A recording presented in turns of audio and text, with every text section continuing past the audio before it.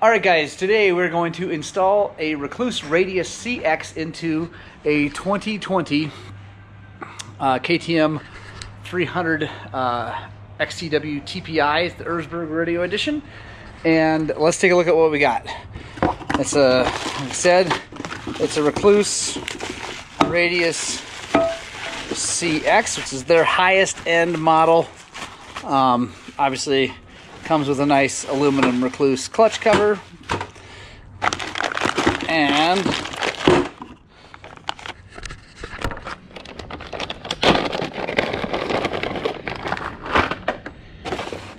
the workhorse of the situation. With the Radius CX, you get new pressure plate, new lining plate, the EXP expanding ring, with all the newest, coolest uh, setups in it, both uh, wedges and Teflon pads and all that stuff. Anyway, that's that is actually what does all the real work on the Rekluse. And then with the CX, you get a new inner hub and new drive plates or driven plates and drive plates, steels and frictions. You get a slave cylinder and you get your tuning stuff. You get uh, bolts to hold this whole thing together different springs uh, to tune when the thing engages and all that stuff. So we're going to start by taking these and dumping them in here and putting some oil in there to soak them so that they get soaking while we're getting going uh, so that the friction materials all um, got oil in it and it's all ready to rock and roll. So we'll get that soaking here and we're going to come over here and take apart the bike. All right, like I said, we got a 2020 300 XCW TPI Erzberg Rodeo Edition. Pretty sweet bike. This thing has six miles of him riding it around the, his block back in Texas. So it is brand spanking new. Um, so yeah, let's take the thing apart and see what's inside.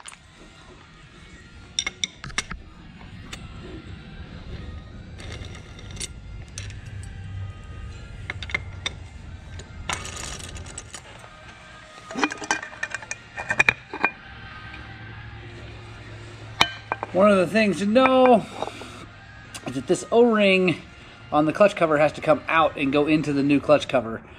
It's one of the things I really don't understand why Rekluse doesn't give you a new one, but they don't. So you got to make sure you pull this out, and uh, you don't want to do it with like a knife and jack it up. So you got to be careful with it and get it out of there.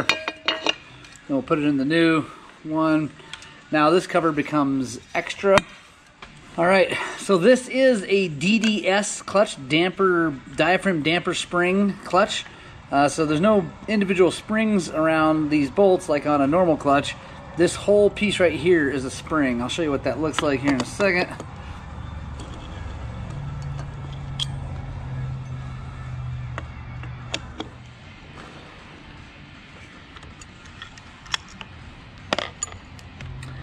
This ring is the ring that pushes down and pushes pressure on this spring. I don't know if you guys can see, but that spring, it's cupped. It's, you know, cupped up like this. So that's what pushes pressure down on, this is the pressure plate to hold tension on the clutch. Uh, it's pretty cool. Um, but here's a little, maybe, I don't know if it's little known, but here's a fact. This is the way Harleys do clutches. And honestly, generally, I try to avoid anything that Harley ever does.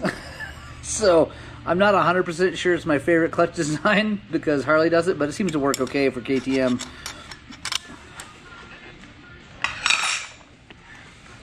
Important little piece here, don't lose this. This is just like a, a washer to keep that damper uh, spring from digging into the pressure plate, and this needs to go onto the new one from Rekluse. Old pressure plate is going away. Now let me show you guys what it's got going on over here. These trays are awesome. They've got rounded edges so it's easy to like scoop things up and out.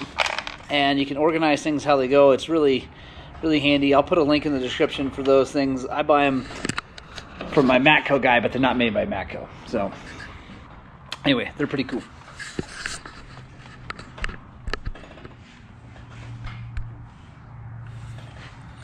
All right, we're gonna take our push rod and throw out and put it over in our little tray. Keep it all happy. Now, here is a key to removing this stuff. This nut right here, generally, if you just did it the way the book shows to do it, you'd need a whole special holder for all this stuff. You take the plates out and anyway. Don't need to do that. What we're gonna do is we're gonna have to drive these tabs open. then we can take an impact on here, and what we can do is we can take our fingers and push on the stack of plates to effectively engage the clutch that's going to then hold this still while this rotates off.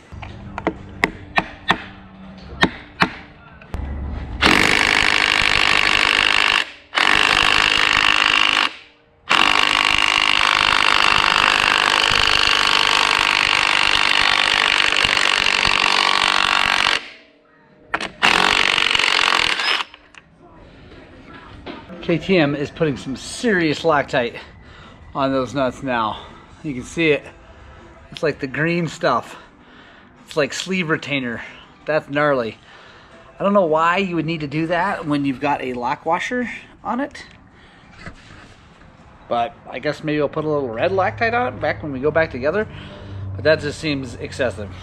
So when you're coming out with these, you gotta be careful. These little dowels are separate and they like to fall out.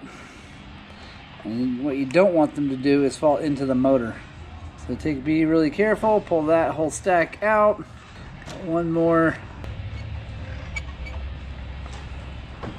So I like to take these out, put them in the tray so they we know where they are and they don't fall down in there.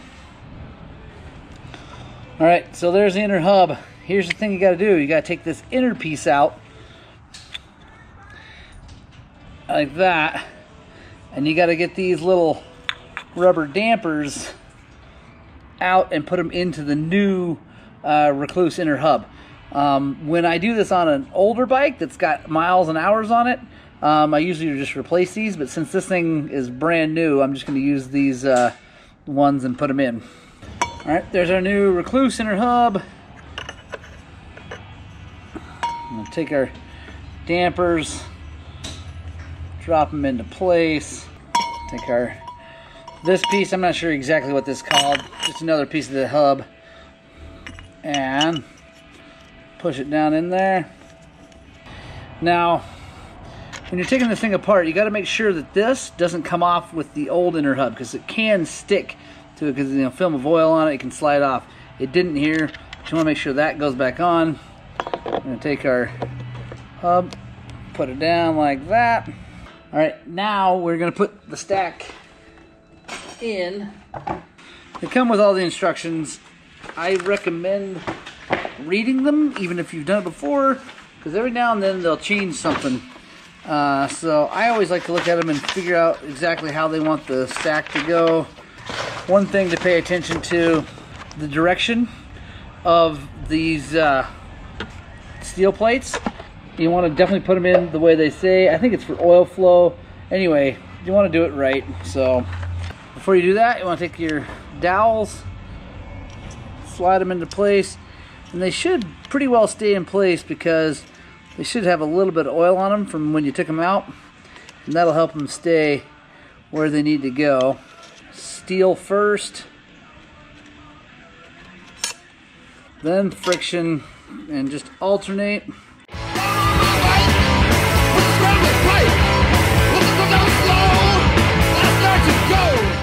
Take our expanding ring.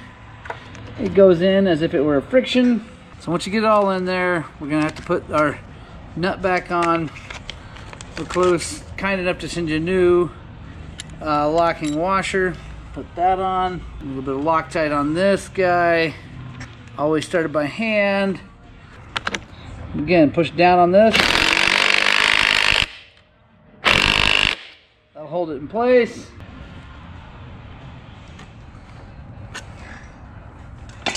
And if you just bend one tab, that means if you take this back apart, you can bend this one without like bending it and opening it, you know, and weakening it. So that's always a good idea. Take our throw out. Then we take our pressure plate with the lining plate installed so that it fits all the way down nice and happy. Put this on here. And then when you're pushing on it, you'll feel the hydraulic clutch kind of let it slide out of the way. That's a good thing.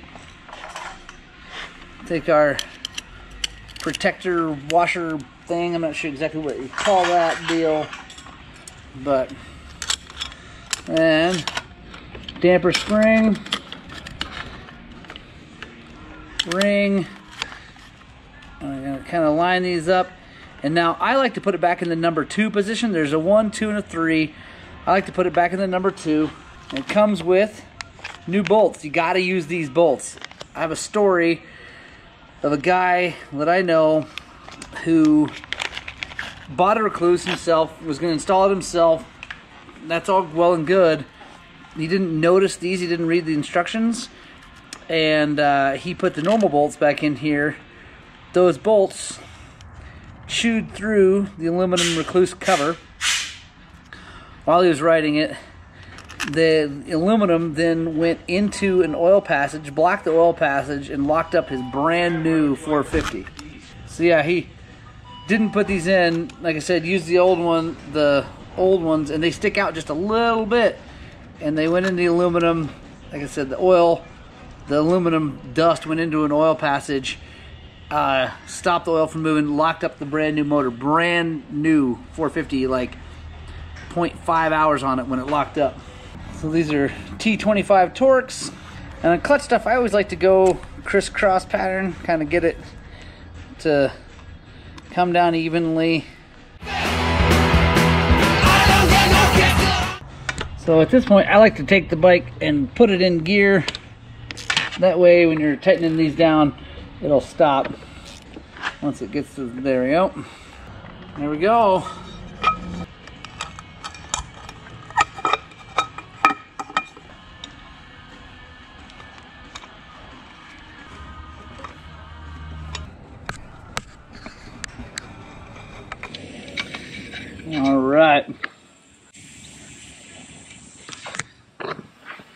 All right, so that part of the rekluse is done. Now we gotta get it up on the lift and work put the new slave cylinder on there because that's actually how the rekluse does what it needs to do. Is that with the new slave cylinder you can open up the pressure plate just a little bit and disengage the clutch so that when uh, the RPMs of the motor come up, that expanding ring expands and uh, hooks up. I've got another video explaining rekluses a little bit more in depth. I'll put a card right up here if you guys want to see that. Um, so you can check that out. It really goes into in depth into how exactly they do what they do. Uh, so yeah, go ahead and get that thing up here on the lift and um, put the slave cylinder on. All right, so now slave cylinder time.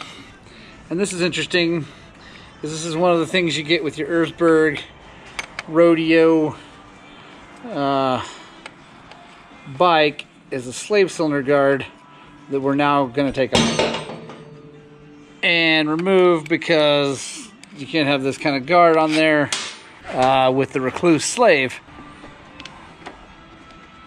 All right, so when I'm doing this, I like to break this loose before I undo the rest of this because if you take that slave cylinder off now and then you're trying to break this loose, it's a giant pain. So we'll take that loose now. And inexplicably, it's an 11 millimeter. Makes no sense. Go. Take that guy off.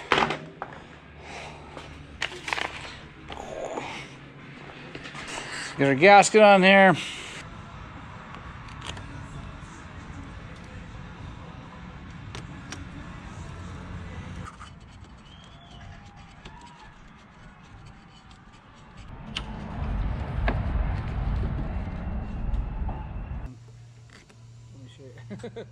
Not like that.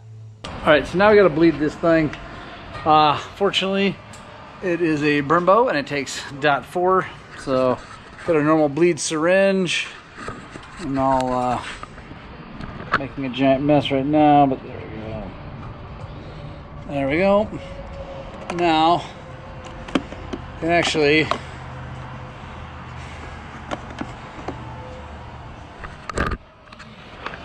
Works good just sitting in there. It's all uphill, so that's good. So now let's drop this thing down and we'll take the cap off and we'll start by pushing the little fluid down and then we'll push it back up and we should be good to go. Then we'll adjust the rekluse and we'll be finished.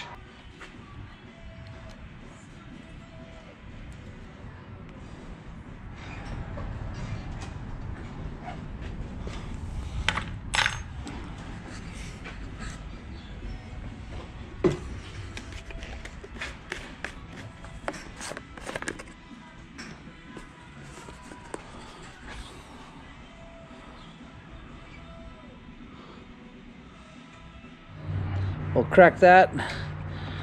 So some bubbles there. I'll go ahead and squeeze our lever. Let's see what we get out. There we go.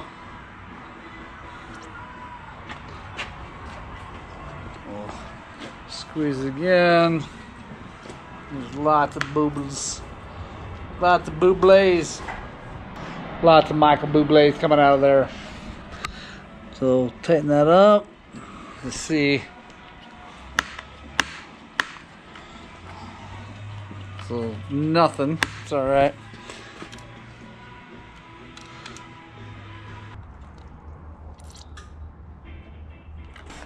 And as with brakes, you want to make sure this doesn't get too low.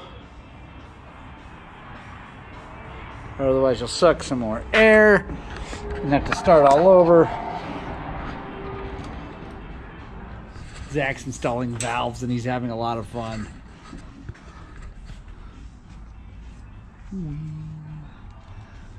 It's the worst part is getting the keepers down in their spot.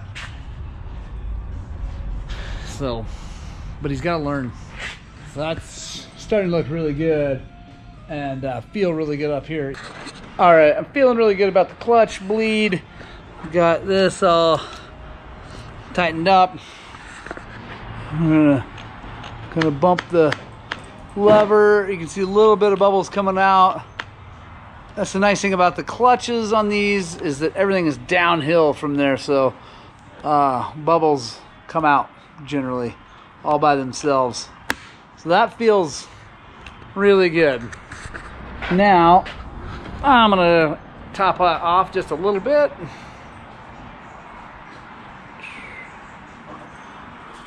Now we're gonna set the rekluse adjustment. Four millimeter Allen, back this out until it feels loose, and then we come in until it feels like it stops, and then we're gonna go full turn. It's got little tick marks on it, plus two. Now we're gonna start her up. And I actually leave the cap off of this when I start it up here because the vibration will help any more bubbles come out while we're waiting. See, there's one right there. So basically, when you're doing this, Rekluse wants you to warm the bike up, get the oil warm and all that. Uh, and we're going to do that eventually, but I like to check it cold because it takes a long time for transmission oil to warm up in a two-stroke, like a long time.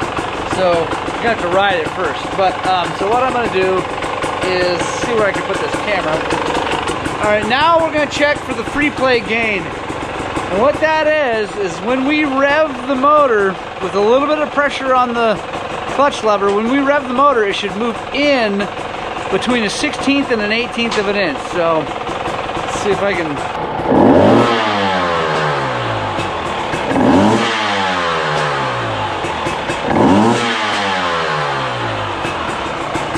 actually that feels pretty good.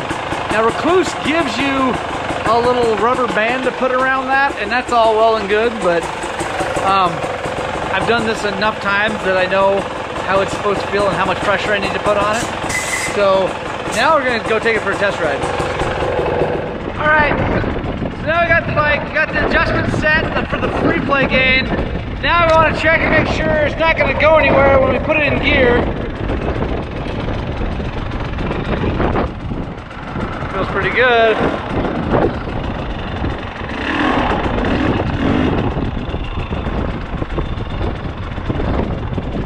It's always a weird feeling not having to use a clutch. So Uh, now they want us to break it in. We're gonna put it in second, start from a stop, roll up to like three quarter throttle, come back down to a stop, roll up three quarter throttle, come back down to a stop, do that 20 times. Then we're gonna put it in third, do that 20 times, and then we're gonna check the free play again and adjustment again. Uh, and then we're gonna be good. Should be ready to rock and roll. So put her in second.